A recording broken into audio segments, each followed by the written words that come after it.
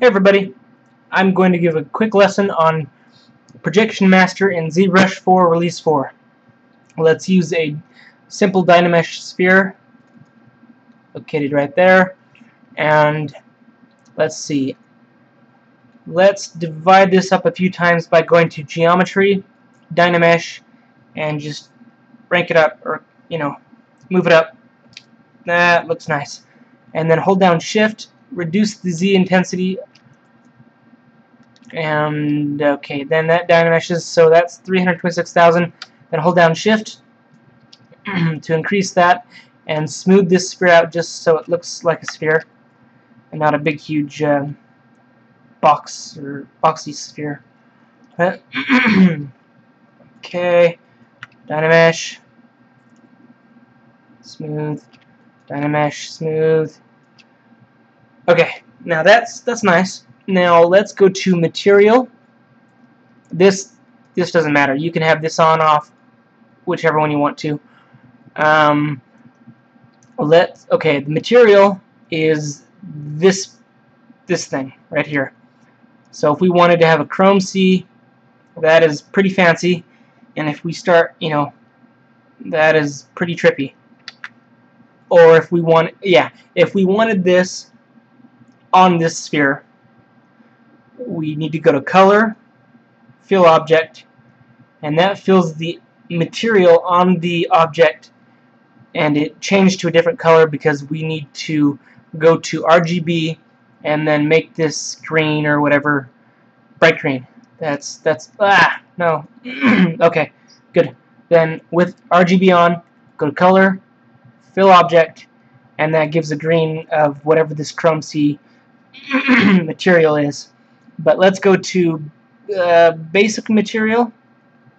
Okay, that didn't change because we already applied the other material to that, which is why when you're working with multiple objects or subtools, it's wise to um, place materials on each subtool to make your scene look really complicated in many different materials. So, uh, but anyway, Okay, now we've got this uh, basic material selected. So with material on, go to color, fill object.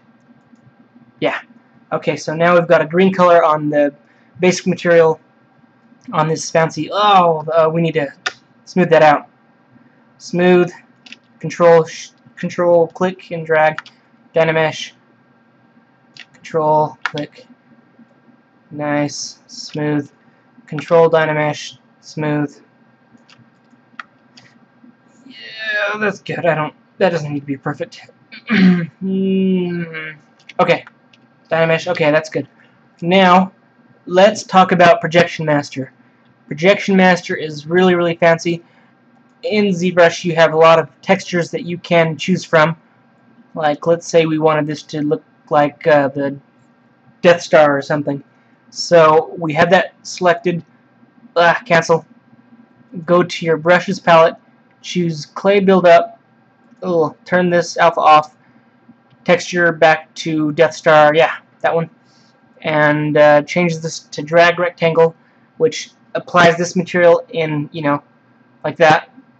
It didn't apply right there because we don't have that um, stuff or RGB and material stuff on.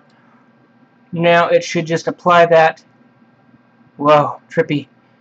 Um, to the object. And that's nice. Ta-da!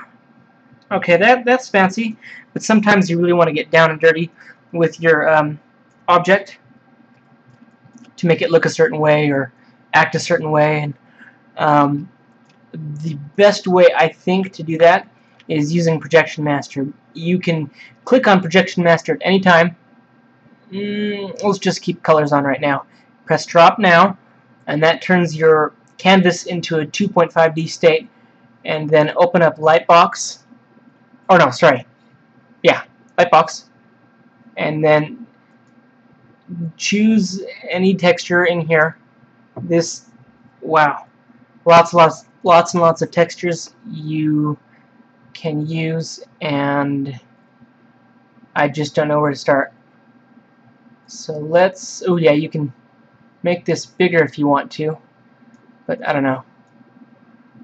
Mm, yeah, I like this one. So double click until you see it right here, and then just keep doing that. What this is doing is adding those textures to the texture palette. Okay, click, click, click. Nice. Okay. Now we have a bunch of, uh, oh, um, hide this, and then in your brushes palette, select your alpha brush. And then we can choose textures, and we just apply a whole bunch more. Let's add two more just for the heck of it. Okay, Lightbox, we're in textures already. These are nice. And then you see it right there, so you know it's in there. Okay, those two. So now we've got those two textures. So close Lightbox, and then let's let's use these. Let's use this texture first. It's still in 2.5D, so I can't move around and things like that. Um, let's change to a drag rectangle brush. Uh, no alpha, because that would... I'll show you what that does in a minute. Now this drags out a flat image of whatever texture you had. And let go.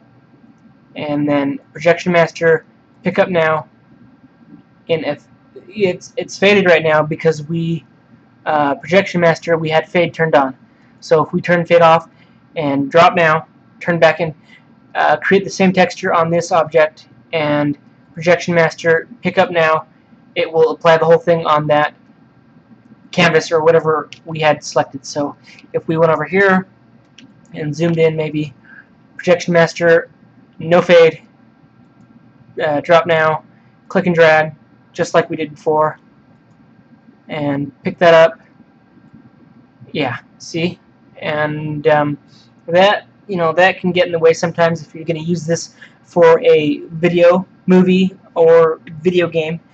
Um, so that's why sometimes it's useful to have uh, fade turned on.